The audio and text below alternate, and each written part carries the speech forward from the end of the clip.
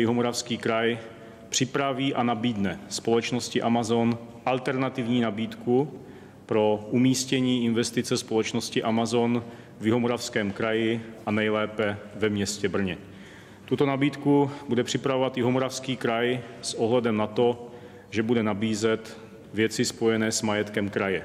Proto o věci bude rozhodovat krajské zastupitelstvo, nikoliv znovu zastupitelstvo města Brna. Samozřejmě jsme na samotném začátku.